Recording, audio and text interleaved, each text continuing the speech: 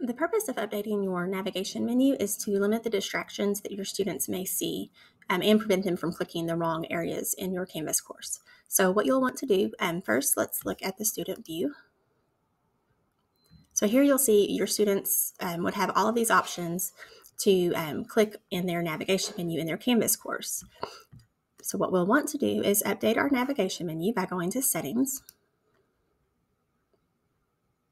Click on the navigation tab. And then anything that you do not need your students to access, um, you can drag down here where it says drag items here to hide from students and then click save. And so that will remove them from their view. So for instance, um, I do not need my students to use Apex Learning right now or Badgr. And I'm going to create all of my course content and house those uh, that content in modules. And so my students will not need to click on assignments, pages. Um, let's see. We'll keep discussions. My students aren't going to use Newsela. We definitely want to hide this chat feature. Um, that prevents students from being able to chat with each other without a, a teacher being um, in the little chat room. So definitely hide that. Um, I'm going to take out quizzes because I can have my students access their quizzes in their modules.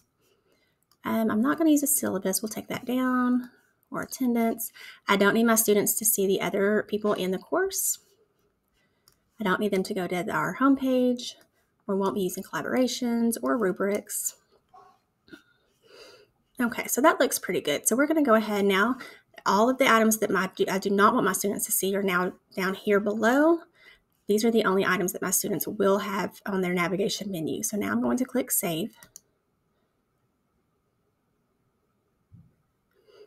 And if I go back to Student View now, you'll see that all these now have the little eye with the line through it, meaning they're not visible to students.